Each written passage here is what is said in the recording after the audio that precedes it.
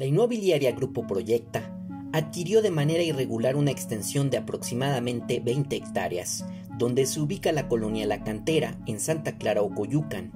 para extender el desarrollo inmobiliario de lujo Lomas de Angelópolis y conectarlo con el City Lomas, zona en la que amenaza con derribar viviendas en las que habitan 300 personas.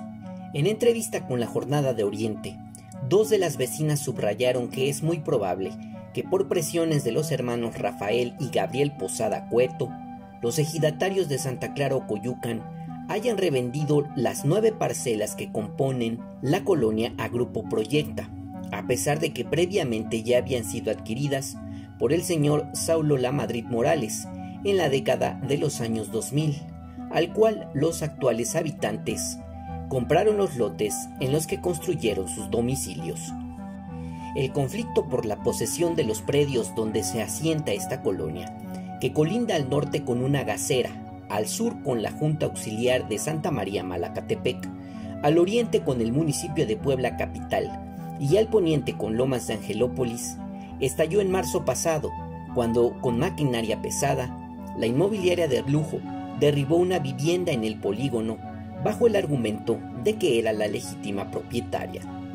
Tiempo después, Grupo Proyecta, a través de una empresa fachada de nombre Ligoria, interpuso una demanda por supuesta invasión en contra de los habitantes de una de las parcelas, identificada como la 1058, lo que provocó una diligencia por parte de la Fiscalía General del Estado, la cual inquietó a los vecinos que protestaron ante el riesgo de otra demolición.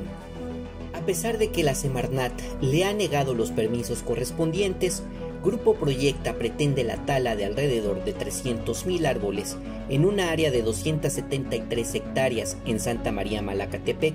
para la construcción del proyecto City Lomas Ocoyucan, según se desprende del llamado Master Plan 2022, pretensión a la que se han opuesto integrantes del Campamento de la Resistencia y Lucha en Defensa de la Tierra y el Agua, quienes han sido objeto de denuncias, amenazas y atentados en contra de sus viviendas.